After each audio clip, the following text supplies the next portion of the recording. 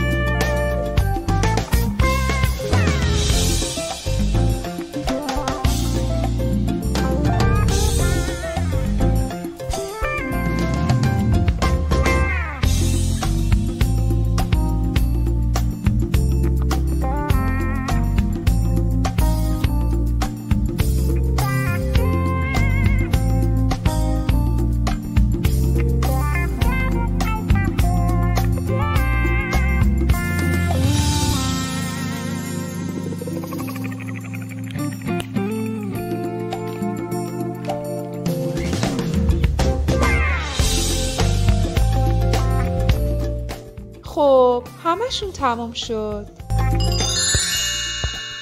بله خب چطور بود؟ من احساس می کنم که اون ساعتهای زیادی رو تمرین کرد تا بازیکن فوتبال بشه. شما اشتباهات زیاد می‌تونید انجام بدید. ممکنه برای رسیدن به رویاهاتون همه چیز به خوبی پیش نره. اما چیزی که مهمه شما نباید عقب نشینی کنید یا تسلیم بشید. من می‌دونم شما آدم های شگفتانگیزی خواهید شد. لطفا منتظر سنف بعدی ما باشید. خدا حافظ